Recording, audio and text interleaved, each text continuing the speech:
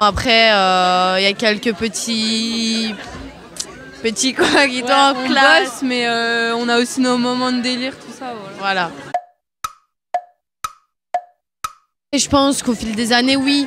Euh, je pense que le lycée, il doit, il doit être un petit peu transformé aux besoins Il doit des, évoluer par rapport aux besoins de- des élèves. des- des élèves. On a des besoins euh, différents, en fait. Puis c'est vu et revu, du coup, euh, on a besoin de changement. En fait, toutes les années, c'est pareil. Juste après, il y a la réforme du bac, là, pour les secondes. Mais sinon, le lycée en lui-même, euh, il, il bouge pas, en fait. Il change pas. Il n'y a, pas de a pas de grand changement, en fait. Les profs, ils osent pas trop. euh, Enfin, ils restent dans leur zone de confort et ils veulent pas euh, bah, s'adapter à chaque élève. Chaque élève aime euh, bah, ce qu'il fait, euh, sur quoi il bosse. On est en interaction avec les, euh, les professeurs qui sont en adéquation avec nous. Tout le monde s'entend bien et il y a une bonne ambiance de classe et de travail qui est les deux en fait.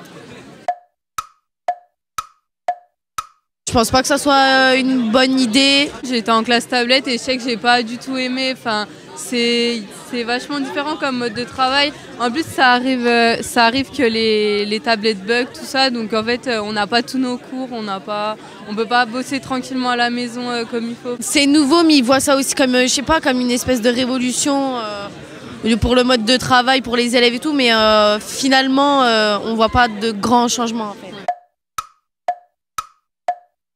Si on veut parler de la réforme, euh, s'il y a eu beaucoup de manifestations devant le lycée par rapport à ça, c'est que il y a une grande partie qui n'est pas d'accord. L'éducation, elle, euh, elle écoute pas assez les élèves.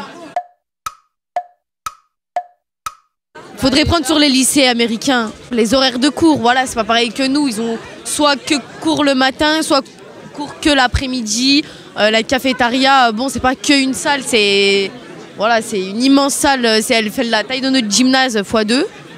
Euh, après, les professeurs, ils sont super cool. euh, bah voilà, je pense que faudrait innover en fait. Faudrait innover et euh, rendre euh, l'espace un peu plus motivant en fait pour les pour les élèves. Quand on se lève, bah qu'on se dise, euh, bah voilà, je vais au lycée, je vais pour travailler, mais euh, en même temps, euh, j'ai envie d'y aller. Quoi. Ce sera que du numérique, euh, ouais, les ordi, tout ça, euh, plus de papier, je pense.